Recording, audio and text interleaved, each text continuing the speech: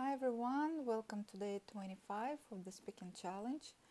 Uh, I'm going to practice 10 short body language exercises um, so you can understand what uh, emotions or feelings I want to show you. And uh, number one, hey sweetie pie, don't worry about that.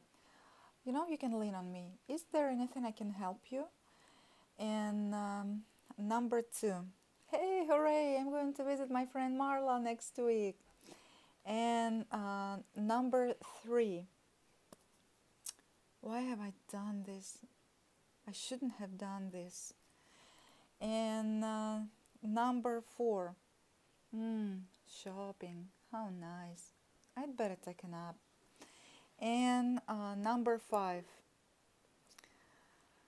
I don't want to do anything. I just want to stay in my bed.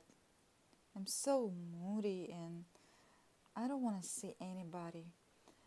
And uh, number six. Oh, come on, just don't tell me what I have to do, okay? It's just not your business. And uh, number seven. Mm, excuse me, can I have a look at this little thing, please? And uh, number eight hey, come on, we gotta do this. It's so interesting. We can do this. And number eight. Wow, such a beautiful and stunning scenery. I wish I could stay here for ages. And the last one. hey, you just back off. and uh, this is it for today. Thanks for watching and see you later. Bye bye.